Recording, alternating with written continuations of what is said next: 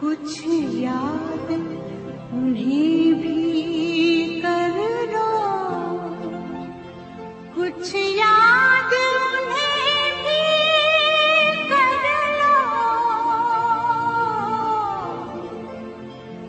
जोरा घरणा जो लौट घर ना आए जो लौट घर ना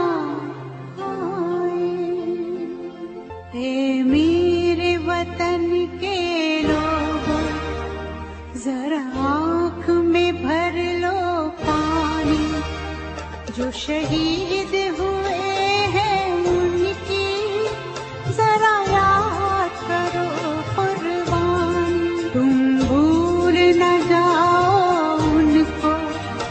इसलिए सुनो ये कहानी। जो शहीद हुए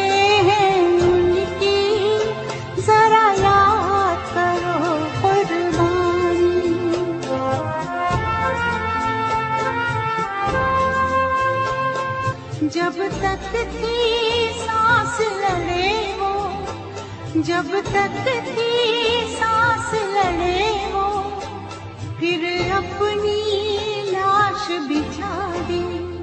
संगीन पे धर कर माथा सो गए अमर बलिदानी। जो शहीद